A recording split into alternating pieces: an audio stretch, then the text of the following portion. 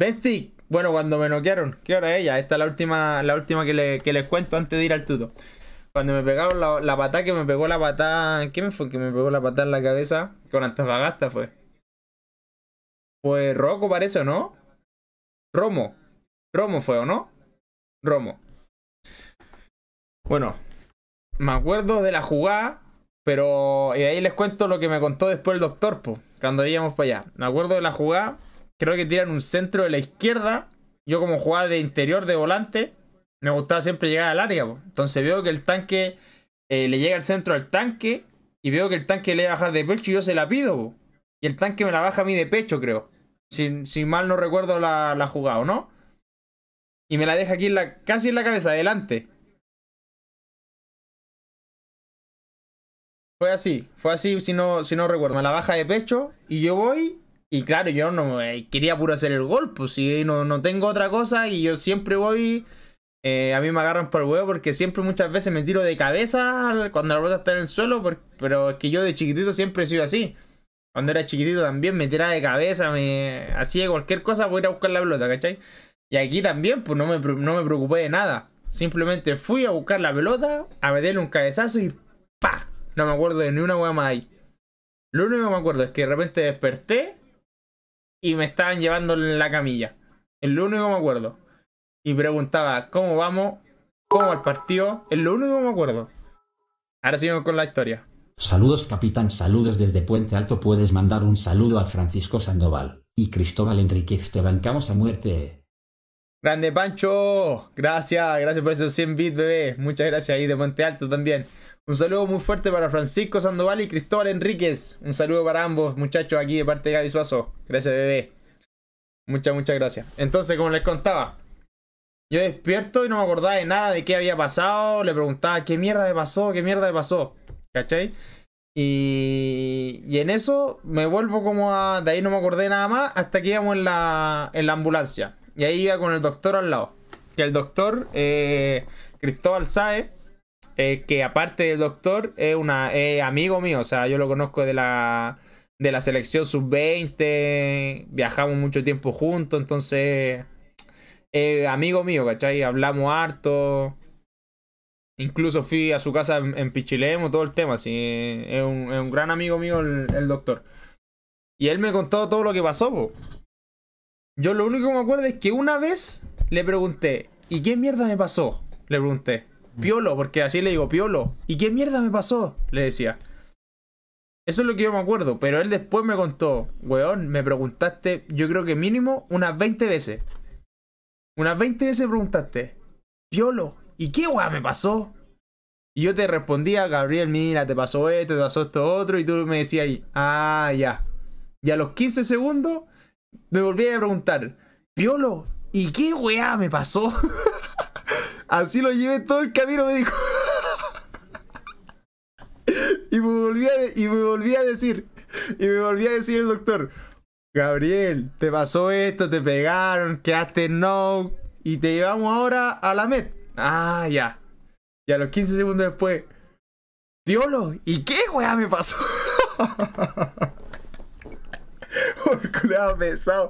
Y yo no me acuerdo, weón. Yo lo único que me acuerdo, lo único que me acuerdo es que la última vez, parece que la última vez que se lo pregunté, que esa es la que me acuerdo, es que le dije, de nuevo le dije, Piolo, ¿y qué weá me pasó? Me contó y le dije, ah, vos me estáis agarrando por huevo. Esa weá le dije en la ambulancia y de eso me acuerdo. me estáis agarrando por huevo, esa weá. Eso, de eso me acuerdo, pero clarísimo. Y de ahí, lo único que pregunté hasta llegar a la clínica es cómo íbamos. ¿Cómo vamos? ¿Vamos ganando? Y el doctor iba escuchando el partido en la radio. No, no, no, vamos empatando, decía todo el rato. Y de nuevo le preguntaba, ya, pues, ¿cómo vamos? Ve cómo vamos. Llama, llama a preguntar cómo íbamos. ¿Cachai? Y hasta que el mago hizo el gol. Hizo el gol, creo que antes de que yo llegara. No, no, hizo el gol después cuando yo ya estaba en la clínica. Cuando ya estaba allá. Así que, no, pero buena. Buena historia. Pero fue, fue cuático, o sea, la Gaby, mi, mi mamá, mi papá estaban en las tribunas y quedaron, pero. Pero para la cagá, pues, para la cagá. Quedaron para la cagá, fue, fue un momento, más, más que para mí, fue un momento complicado para ellos. Para ellos. Para ellos, entonces. Pero bueno. Son historias y son cosas que me quedan ahí. Me quedan ahí de, de recuerdo para contárselo después a, mi hijo, a mis nietos, a todos. No, fue ese buen headshot. Buen, fue un buen headshot. No, después la recuperación ni un problema, o sea, gracias a Dios no fue nada grave. Eh, lo que sí nos habíamos asustado, bueno, esto lo conté la otra vez, que se los voy a contar ahora igual, antes de ir al, al tuto.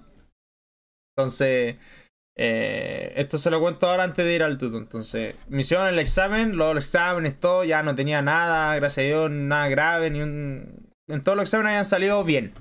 ¿Cachai? Pero me tenía que quedar igual en, en, en, la clínica para ver cómo seguía, cómo evolucionaba y todo el tema.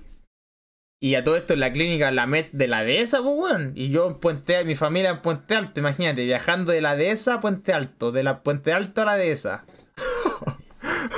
Creo que queda más cerca ir de acá de Puente Alto a, a Rancagua, Viña, cualquiera. que ir a la dehesa.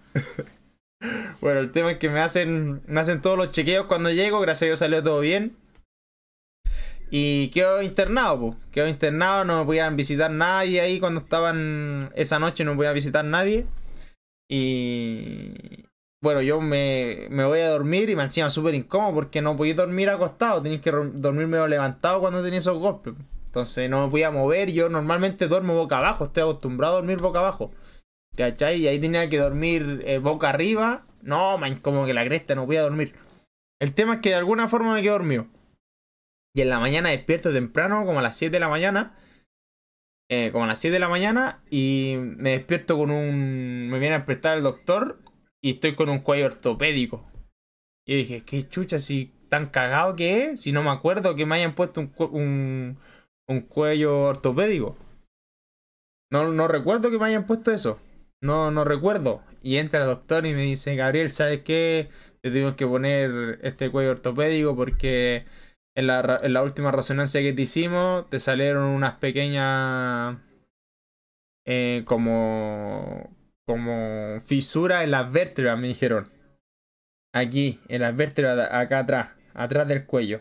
Y yo, no. ¿Qué? Pero para que Y le pregunté al tiro, ¿y eso cuánto tiempo es? Pucha, Gabriel, no sé, pueden ser hasta tres meses. De tres a seis meses, me dijo el doctor.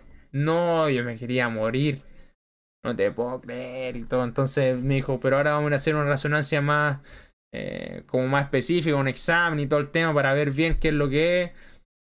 Ya, perfecto. Y yo más asustado que la cresta, tenía pura gana de llorar. No me la container, sí. No, tenía pura gana de llorar, pues yo me dijo, pero puta, yo me siento bien, no, no me duelen. Incluso me entró, antes de llevarme a hacer los exámenes, me, me entró a hacer diferentes, em, como diferentes eh, me empezó como a tocar los dedos, si, tocaba, si sentía los dedos de los pies, si sentía la, la parte la planta de los pies, ¿cachai? Porque pensó que podía tener eh, algo en la columna vertebral y que me haya dañado para las piernas, ¿cachai? O cualquier cosa, me movía las piernas, me, me, hacía que, que, hiciera fuerza. Test corporal, ahí está, test corporal, exacto. Y gracias a Dios salió todo bien. Entonces me llevaron a hacer los exámenes, ya todo el tema, hice la resonancia, todo. Y de ahí esperando todo el tema. Esperando todo el, todos los exámenes. Y a todo esto, a todo esto, mientras esperaba los exámenes, eh, llegó el mago. El mago me fue a ver. Fue de los primeros que me fue a ver en la mañana temprano, antes de irse a entrenar, como a las 8 ya, como a las 8 llegó, creo que antes de las 8, llegó a verme el mago. Extraordinario el mago. Extraordinario, ahí me fue a preguntar cómo estaba y también se, se encontró con eso, que me tenía que hacer esos exámenes. Mago al día, sí se, encontró que tenía que, hacer esos exámenes y se asustó más que la cresta también, pues llamó al Wilson al tiro, al doctor y todo. ¿Cachai? Y, y después, bueno, gracias a Dios, después de eso se fue el maquiño, cuando yo me fui a hacer los exámenes, todo, se fue maquiño. Y después de los exámenes llegó el doctor y me dice, Gabriel, ¿sabes qué? Eh, es cierto que tiene ahí como unas pequeñas fisuras en la vértebra, algo, algo extraño pareció, pero por lo que podemos ver en la resonancia nueva que te hicimos y todo, son antiguas. Son antiguas. Lo que yo tenía ahí, y todavía lo debo tener, es antiguo. Quizás de, de, de cuando, de cuando era chico, de cuando era niño. No tengo idea, pero es antiguo. No fue algo que me pasó ahí. no tengo, no tengo Yo lo estoy explicando así eh, con mis palabras, o sea, no sé bien qué era lo que tenía y no les puedo decir porque no soy doctor y no me acuerdo exacto lo que me dijo el doctor, qué era lo que tenía, ¿cachai? De los guantes me no sé, no tengo idea.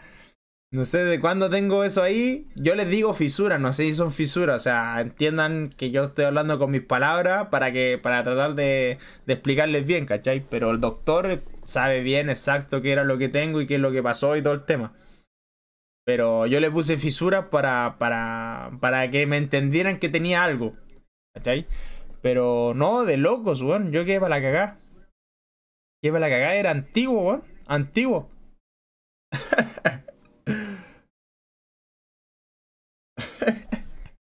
no, de loco, de locos. Fisura igual Yayita. Pero tenía algo ahí. Gracias, Esteban. Cuídate mucho si te quiere, jejejeje. gracias, gracias, Esteban, por esos 100 bits Muchas, muchas gracias. Así que así fue con esa historia. Así fue con esa historia. Y el otro también que estuvo, bueno, el Maguillo llegó temprano, pero el otro que fue al tiro después del partido fue el Cristian. Cristian Gutiérrez, que es mi amigo, es, mi hermano. Eh, ¿Para qué, pa qué vamos estar así? O sea, estoy junto con él de los 8 años en, Colo Colo. Sí, sí, esto es lo último. De los 8 años que estuvimos juntos en Colo Colo, él llegó como a las dos semanas que yo llegué. Subimos juntos al plantel, debutamos prácticamente juntos. Mm, somos, somos amigos y, y, hermanos, la verdad. Y él fue el primero en llegar, o sea, después del partido se fue al tiro allá a la clínica. El canadiense chileno, exacto. Llegó al tiro a la clínica con su familia, con todo, así que no. También extraordinario. Cristian es, de locos. ¿Cómo dinos qué, me, qué me pasó? No, no sé, no, no tuve nada. O sea, del golpe no. Ninguna secuela, no tuve nada. No tuve nada, nada, nada, nada. Del golpe nada. Eso que tenía atrás era antiguo. Fue lo único. Pero del golpe nada. Incluso eh, al otro día, obviamente, no pude entrenar pude volver a entrenar al siguiente día, volví a entrenar. Y, ese, y jugábamos el martes contra. Jugábamos la vuelta de la Sudamericana. Que la habíamos ganado a Católica ya, 1-0. Y de vuelta jugábamos acá, que ese partido creo que lo perdimos. Creo que lo perdimos ese partido, que yo no lo pude jugar porque me habían golpeado y era un mínimo de 72 horas, parece, para, para poder volver y todo el tema. Entonces, por más que me sintiera bien, no podía jugar. Así que, así que eso.